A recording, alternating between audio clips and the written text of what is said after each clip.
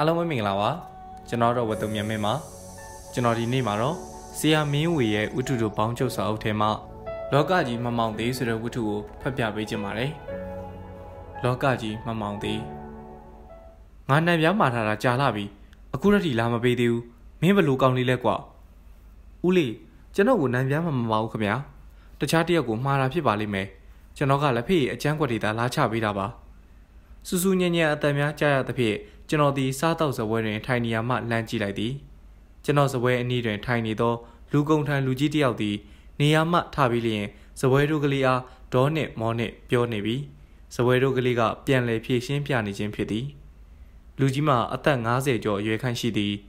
စပွဲတို့ကလေးမှာ10ကျော်သက်အရွယ်ယောက်ျားကလေးဖြစ်သည်သူတို့နှစ်ဦးကိုခက်လန်းလန်းရှိစပွဲခုံမြင့်ပေါ်တွင်ထိုင်နေသောပိုင်ရှင်ဟုယူဆရသည့်အမျိုးသမီးကြီးကလှမ်း၍ကြည့်နေသည် စပွဲတို့ကလေးအလုတ်ပေါ်လျင်မတက်တာအပြစ်ပေးခံပေးရတော့မည်ထိုစဉ်အသက်20ကျော်အရွယ်ရှိစပွဲတို့လူငယ်တဦးကထိုနေရာသို့လင်မြန်စွာရောက်လာသည်ဦးလေးနံပြားမှာတော့သူ့ကိုမဟုတ်ပါဘူးကျွန်တော်ကိုမှားတာပါနံပြားကမှားသူများပြီးမိခင်နေရာကြာသွားလို့ပါအခုပဲရောက်ပါလိမ့်မယ်ခမညာဟူ၍ပြောဆိုလိုက်သည်ဤတွင်ဒေါသထွက်နေသောလူကြီးသည်သူ့စပွဲရှိရာသို့ပြန်၍ထိုင်လိုက်သည်ချက်ချင်းပင်စောစောကလာဖြည့်ရှင်းပေးသောလူငယ်သည်နံပြားယူလာပေးရာ လူကြီးသည်အေးဆေးငြိမ်သက်စွာ စားတောက်နေလေတော့သည်အချိန်မှာနနက်၈နာရီခန့်ဖြစ်သည်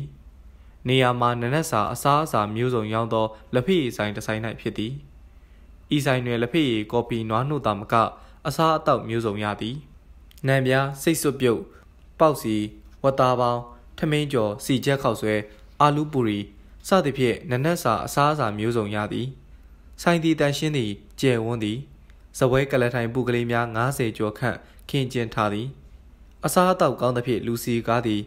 အသက်10နှစ်ကျော်အရွယ်မှအသက်20ကျော်အရွယ်ထိရှိသောဇပွဲတို့ကလေးများ10ယောက်ကျော်ထားရှိသည်ဆိုင်ကပေးထားသောစင်တူအင်ဂျင်များဝစ်လျက်သူတို့သည်ပြားပန်းခတ်မြလှုပ်ရှားသွားလာဆောင်ရွက်ပေးနေသည်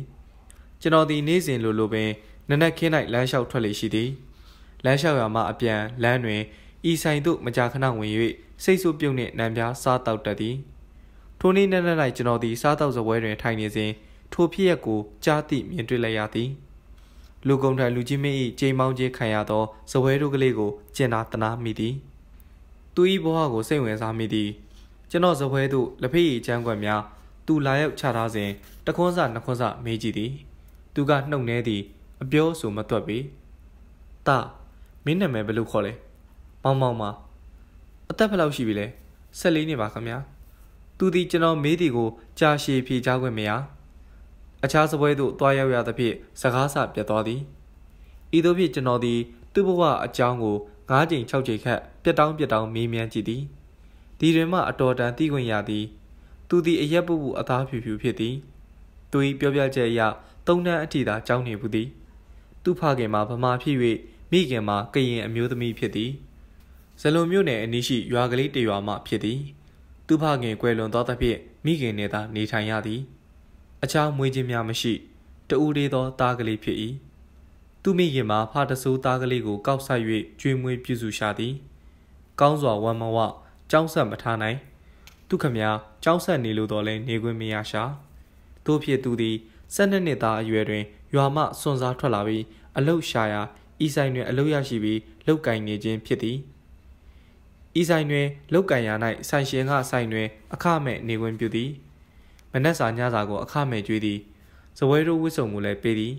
အလုတ်ချိန်မှာနနက်9နာရီမှည9နာရီအထိဖြစ်သည်သူခမများမအားရှာတနေကုန်လောက်ကင်ရသည်တို့ရတွင်သူသည်ထို့သို့လောက်ကင်ရသည်ကိုဝမ်းသာရှင်ပြလျက်ရှိသည်အလုတ်ကိုစိတ်ပန်ဝင်စားစွာဖြင့်ကြိုးစားလောက်ကင်နေသည်ကိုတွေ့ရသည်ကျွန်တော်သည်ကြောင်းနေခွင့်မရရှာသောသူ့ဘဝကိုအထူးစာနာမိသည်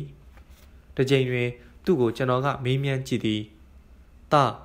မင်းတလကိုလာကဘယ်လောက်ရလဲ။နေစီစားစီတလကို2000ကျပ်ရပါတယ်ခင်ဗျာ။ဒီရတဲ့လကောင်မင်းဘာလုပ်ပြစ်လဲ။ကျွန်တော်တပြားမှမသုံးပါဘူး။အမေကိုပဲအကုန်လုံးပေးပါတယ်။ကျွန်တော်ဒီသူစကားကိုကြားရသောအခါဝမ်းသာကြည်နူးမိသည်။14နှစ်သားအရွယ်ကလေးကရန်ကုန်မြို့သို့စွန့်စားလာရောက်၍မနာတန်အလုပ်လုပ်ကိုင်သည်။နောက်ပြီးရလာသောလဆောင်ဝင်အားလုံးကိုမိခင်တံပေးပို့လျက်ကျေးဇူးဆက်နေသည်မှာ အလွန်ကြီးကျူးကုန်ယူပွဲရာဖြစ်သည်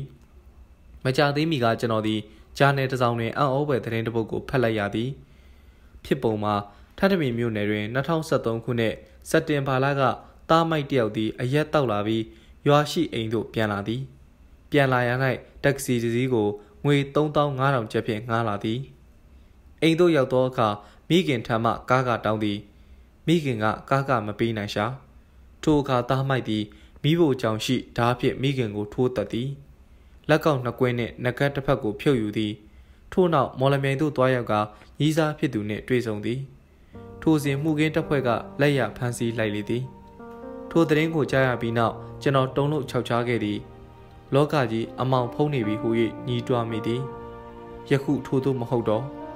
စီးပွားရေးမပြေလည်သဖြင့်တုံနှန်းအထိသာကြောင်းနေခဲ့ရသူမောင်မောင်လောကရန်ကိုကြင့်ကြက်ခံလျက် ရရအလုတ်ကိုယူသားစွာဖြင့်လုတ်ကင်ကြိုးစားနေသူမောင်မောင်ရသမျှလစာအကုန်ကိုမိခင်ထံပေးပို့နေသူမောင်မောင်အရွယ်နဲ့မလိုက်အောင်မိဘကျေးဇူးတည်သူမောင်မောင်ထိုမောင်မောင်အကြောင်းကိုကြားသိပြီးကျွန်တော်ဝမ်းသာကြည်နူးမိရမှဤသို့ကျွေးရင်မိပါတော့သည် လောကကြီးမမောင်သေးပါ